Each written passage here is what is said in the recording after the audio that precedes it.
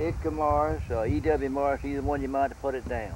Okay, and and uh, Age how, how old are you? 76. And how Been, long? been cooking chicken muddle 54 years and helping cook. Well, you know, I've heard that you're the best chicken muddle cooker in Greensville County. Well, I can do about as good as any of them. I, put, I don't brag on myself at all.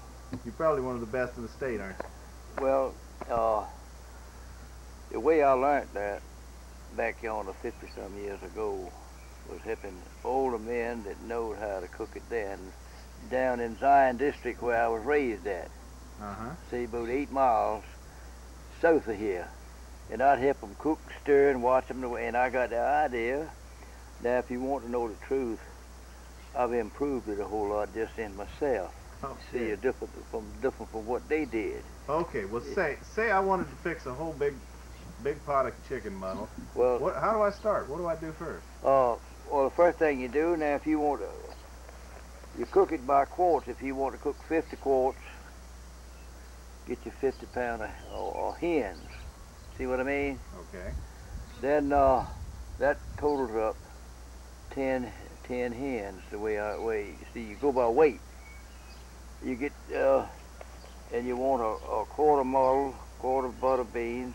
I mean a quarter tomatoes, quarter butter beans, and a quarter corn to each hen. See, five pound per hen. See what I mean? How many? Yeah. And uh, well, what kind of corn and what kind of uh, crushed corn. Pardon me? Crushed corn. You know, Crushed corn. crushed corn. You buy it in in cans. You you, uh, you can buy whole grain or you can buy crushed. Okay. See what I mean? Any special brand better than the others? Well, well, no, I wouldn't think so. And uh, You use fresh vegetables or canned vegetables in your I muddle? buy all canned. These are fresh vegetables don't don't do. Go to the store and buy it all. Okay. Buy it in gallon cans. Okay. You buy, and the main thing is your butter beans. If you can get them, get the what they call the wigwam butter bean. They're bigger and makes a better filler for your muddle. You understand? Them little bitty green beans, you couldn't cook them done to save your life hell. They'd be swelled up in there when you get ready to eat it. And I don't like to eat muddle and get a butter bean in my mouth. Huh? Yeah. I want it cooked. Right. And uh, that much, you'd uh, get about 10 pound of iced potatoes and peel them and chop them up and put them in there. See what I mean? Okay. And uh, So you cook the the potatoes before you put no, in there? just when you put your chicken on, when you put your chicken on, have them potatoes ready and have your onions ready, and dump it all right in there. You see now? Okay, let's let's start it out. Okay, let's start off. I got a big black pot in my yard, and I got I got firewood under it. Yeah. Now I'm gonna put. Say I'm gonna I'm gonna cook uh, 50 quarts of uh, Yeah. chicken muddle. Yeah. What do I need? You need uh, 50 pounds of hen. Okay, what do I do first with the hens? Put I put put your water on and get and, and uh, put it in the pot. Put the water in the pot enough to cover them chickens when you put the chickens in there. Okay. All right. Uh, you see, when you get your chickens from the store, they'll cut them up for you. See what I mean? Then you uh, put your uh, put your butter beans, corn, and uh, you get you uh, well 50 pounds. You get you about five or six pounds of good smoked meat, and dice it up and fry it in a pan real brown, and pour the whole business right in that grease and all. See, Okay. don't so stick. Okay. Then you, you see you got your corn, butter, beans, and tomatoes, and your potatoes, onions. Now, for that many hens, you'd uh, you'd want about 15 pound of onions. And see, time you peel them, you'd have a plenty. You peel them and chop them up. Peel them and uh, and just just block block them up so they won't stick beside that pot. Okay. And uh, uh, just block them up and drop them right in there as soon as you put your chicken on. You can put your beans and your your uh, put your beans, onions, and uh, Chicken. your chicken and uh, and you you fry your bacon quick as you can, put in there so it won't stick at the bottom. You see. Okay. See that bacon keeps it from sticking.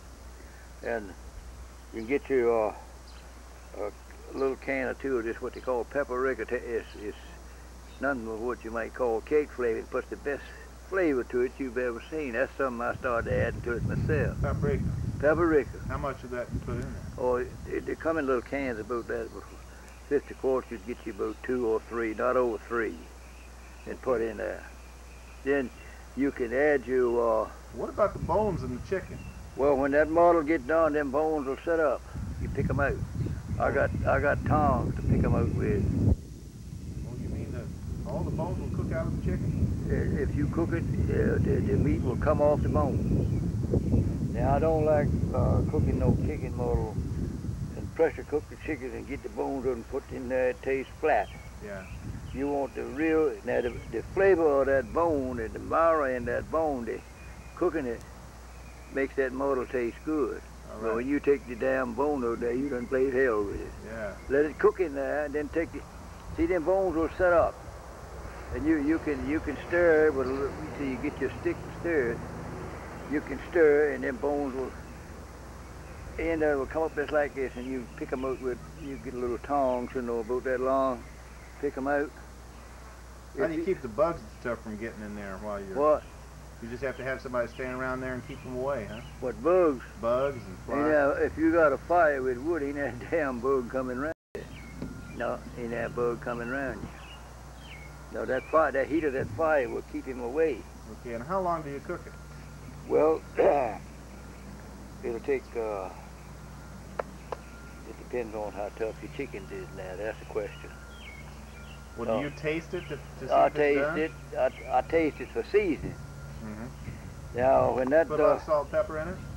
Huh? You put a lot of salt and pepper in it? well, I, I put in and taste, if it much as I want, I put a little more until I get the right taste. Don't put, now, a muddle with too much salt in it is the damnedest taste you have ever tasted. Yeah. And you don't want to get it too hot with pepper. You use red and black pepper and salt. And that's about it. You see, listen now. Chicken, onions, uh, butter beans, tomatoes, corn, your, your bacon, and your salt and pepper and your paprika. There you go. And that's it? That's it. Yes, sir. That's it. What do you say is the average time it takes you to cook it? Oh, well, around three and a half hours, or sometimes, uh, I have had take four hours, depending on how long it takes the chicken to cook that, come off the bone. I've, I've cooked them bones just as clean as your finger. And you pick them up right Pick- out of the middle. Pick them up when the muddle, when you, when the muddle, after the muddle get done and get, uh, you let it cool, you stir it till it cools, You let the fire go out there. Yeah, let pull the fire out and run water under the pot to kill the heat where it's there. Because when you pull the fire, if you just walk off and leave it till it sticks until you stir it a while, it's sticking there. There's one thing you got to do all the time, huh? Keep stirring it. Oh, well, not too fast. You you just take your stick. Just like that right around the pot. And keep that stick on the bottom. Okay, because if you don't keep it on the bottom, it's You don't you don't turn the bottom, and that's where it sticks. uh Uh, see what I mean? right. So you, you you got it all now. You got it you got it taped there, ain't you? That's right. Yeah. Well, you do that and you cook a good muddle. Okay, Yeah, I'm gonna give it my best shot. that's right. Mr. Morris, you're a good man. Well, I I, sure appreciate it. you know, And if I if Man- I, if I man, cook come some here. good muddle, I'm gonna write you a letter and tell you about it. uh, the man come here yesterday morning me to tell him what to get to cook a muddle Really? next Saturday. all everybody all over the country and everywhere come. They want to see it tomorrow. Let them tell them how to cook a muddle. Well, that's great. Yeah, I've been cooking them a long time and had a lot of exper- experience is what you what you need. Now, I can tell you something else. You can buy the same ingredients, chickens and everything. Cook a muddle today, turn around and buy the same amount tomorrow, and it'll be a little difference in the taste of it. Yeah. You can't cook them all big. Of course, they're all good eatable, but you you can, I can't. I can tell a little difference in it. Well, what's the difference between chicken muddle and Brunswick stew? Oh, Brunswick stew is just soupy. Yeah. You want to cook that muddle till she get down thick. Yeah. You Well, how mu- how you how much uh, water do you put in it? Put enough water to start off with to cover the chicken good. You ever add water? Yeah, sometimes you can tell when you need water in there by how thick it gets to start off with. Well, you see, your, your butter beans has got liquid to it. Your tomatoes got it. Well, what kind of tomatoes now? Oh, well, I buy these canned tomatoes. There's this whole tomatoes in the in the can, you know, Yeah. and put them in there. I I I rather have that than have the tomatoes. It's like you stew them, you know. You can buy them like that. Right. I rather have a whole tomato. Yeah. I You ever you ever cook squirrel muddle? Oh yeah. Now if you want a good squirrel muddle, get you about 25 or 30 squirrels and a couple of chicken hens, and put in there that that, that chicken pulls that wild taste out of that squirrel. Uh-huh. Now that's the best muddle ever been cooked. That's better. that's better than chicken muddle. Uh, to me it is. Now I'm gonna tell you the truth. It's better. It's better to me than uh, than chicken muddle. Well, you eating chicken then, uh, but you don't taste chicken. Just Just just put. Uh, you got 25 squirrels. Get you two hens and put in there, and uh, you you uh, you you got it made. And cook it just like you would the real chicken muddle.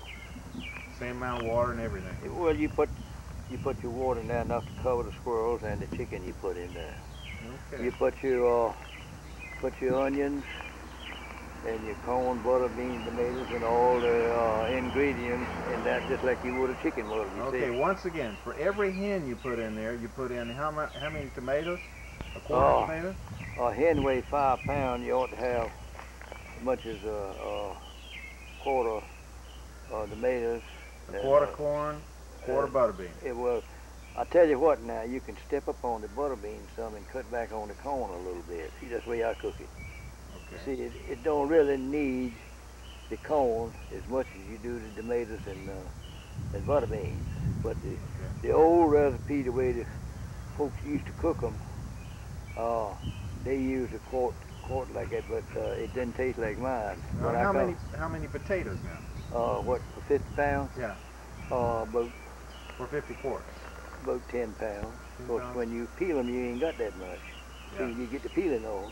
You slice them up in little Just pieces. block them up in pieces that big so they won't stick to the side of the pot. If you slice them like you're going to fry them, it might stick to the side of the pot. Have it in blocks. Okay. You take that uh, round potato when you go, split it this way and split it this way and let that be. Drop it right in the pot. Wash it and drop it in the pot. Yeah, you got it made. Okay. You think you think after what you've told me here, I can fix a good muddle, huh? If you do what I tell you, you'll do it. And you can tell when that muddle gets done.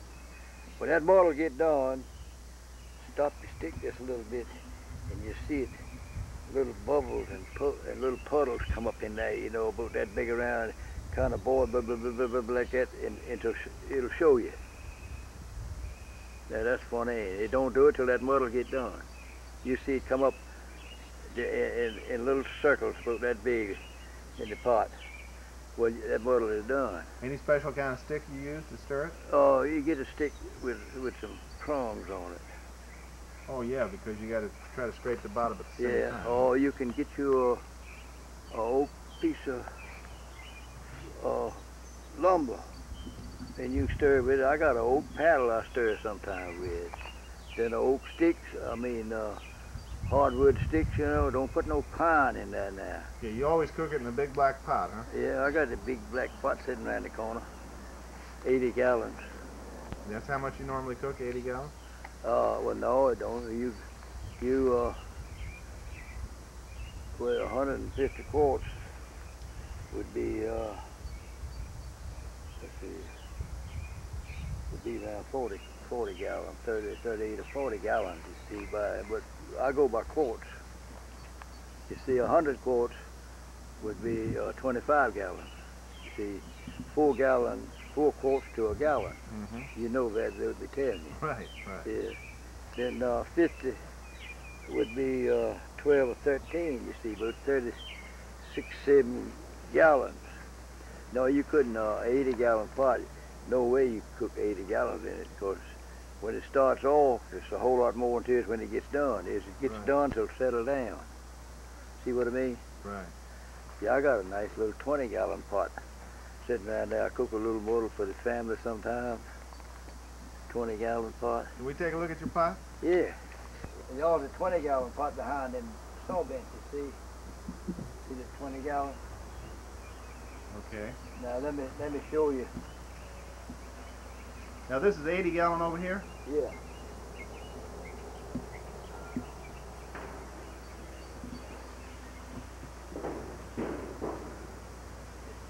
Heat, it'll get crooked.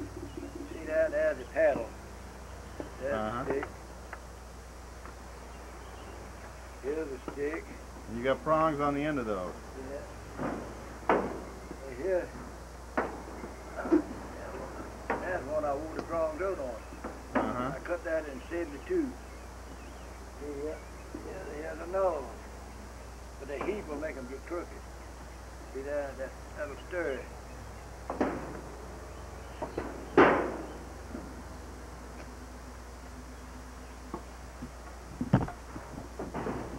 I want to take a look at this little 20 gallon pot around here. All right.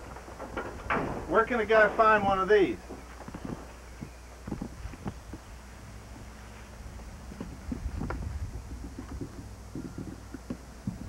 See that, that little 20 gallon pot.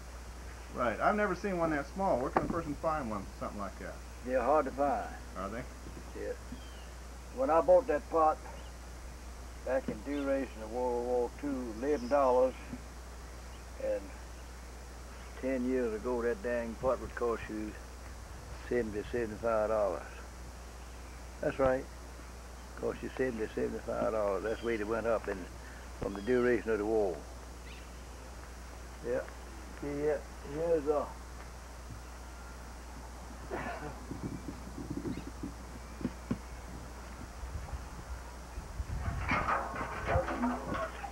That, that pan I scalded over. So, see, I got it right, let it rain, and then I, I, I wash it with uh, stuff with water, and then grease it with uh, uh, Wesson oil. It, it was glitter. It don't look like that when I get ready to cook now. Hell no. That's what I fry my meat in, that pan right there. Clean it up. I just leave it sitting there like that till I get ready, and then I start to washing and cleaning. Mm-hmm. And when I get ready to cook, watch, watch, though, you don't what you say. Uh, it, that, that pot will shine when I get ready to cook. I don't want no damn nasty pot. And what do you clean it with? Oh, stuff you wash it, uh, dishes with. Okay. Put in uh, hot water, get hot water and scald it out and wash it out clean. Then get that Wesson oil with a, with a soft rag and grease it good. And uh, see that, that Wesson oil is what you cook with anyhow. And that don't put no bad taste on it. Mr. Morris, do you do you like to eat chicken though? Yes, sir. I've seen the time, like I said, I eat a quarter in time, I got it done. But, you know, cooking all them many years, you get so you can't, you don't want to eat as much. You just don't want that much, but you can eat some. I don't think I could ever get tired of your chicken though. well, Best chicken meal I ever had, Miss Morris. Thank you very much. I yes, appreciate sir. you You, well, I'm glad to talk to you about it.